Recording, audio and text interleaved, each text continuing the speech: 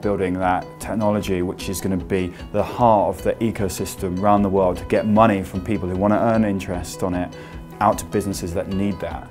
I'd have to say that it was a breath of fresh air coming to Funding Circle. It was easy, simple, straightforward. It's made an enormous difference to our business. I really don't know quite what we would have been able to do without the money. Sitting here now at the end of 2014, I know I can speak for the founders when I say we're incredibly proud of how far we've come this year.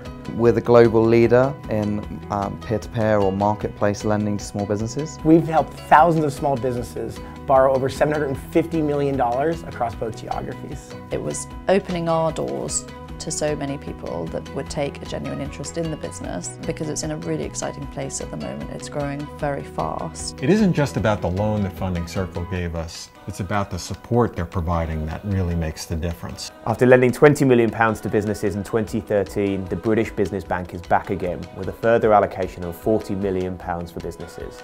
And not just content with backing businesses, George Osborne introduced fairer tax measures and regulation for investors. From the New York Times to Bloomberg to the BBC, we have been spreading the word in 2014 about Funding Circle and how we're really revolutionizing uh, small business lending.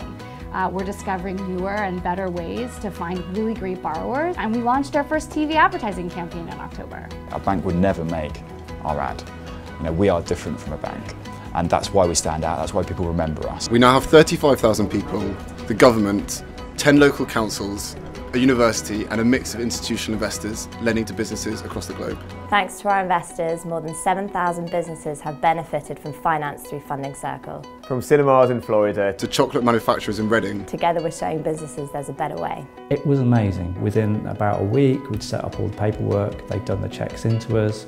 We launched one night and within 24 hours we'd raised all the funds we needed. It's almost uh, one of those things that, that you can feel a sense of gratitude to the internet for allowing to exist. So far in 2014, 158 people have joined Funding Circle, almost one every other day, and now 250 people globally. As our business is growing, so is our team. Our Funding Circle offices are taking up over 31,000 square feet of real estate here in the US and the UK. That's six times where we were just one year ago, and we're not done yet. The, the highlights for me have obviously been the launch of our, our property products. Um, we only launched in April, and as at the end of this year we will have done 25 million pounds in debt. Technically, we have grown a lot. The technical team that we had six months ago is not the team that we have today. It's really exciting. For the second year in a row, Funding Circle competed in London's Global Ping Pong Fight Club. Needless to say, the result was never in doubt.